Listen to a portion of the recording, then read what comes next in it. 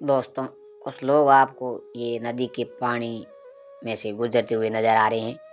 तो इसमें ये सफ़ेद बनियान में जो देख रहे हैं, जो राजस्थान सरकार में मंत्री हैं, वर्तमान सुखराम जी विष्णु, जो सांसौर से एमएलए हैं और राजस्थान सरकार में मंत्री है वर्तमान में। तो अब बारिश हुई, इसमें लोगों का आना जाना रुक गया था। ये नदी पार करके लोगों का सुख दुख पूछने के लिए नदी के अंदर पानी में से हो गुजरी और लोगों का सुख दुख पूछा जाके। तो आपको ये वीडियो देखकर कैसा लगा? कमेंट करके ज़रूर बताएँ। देखिए इस वीडियो को लगातार।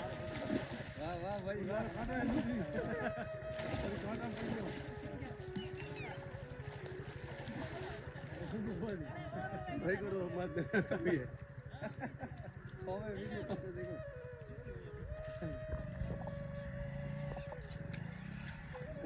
आगे चले जाते। छोटा है वो वहाँ पे तो है